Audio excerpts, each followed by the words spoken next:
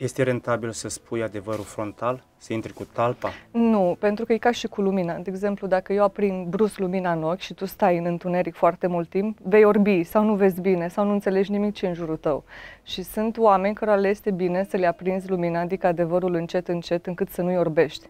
Pentru că stau în întuneric, nu oamenii care se mint foarte mult, ei stau foarte des în întuneric. Și atunci tu vrei cu toată bunăvoința ta să te duci să le spui un adevăr direct în față și s-ar putea să le perturb foarte mult din ceea ce ei sunt, nu mai găsesc direcția, sunt pierduți.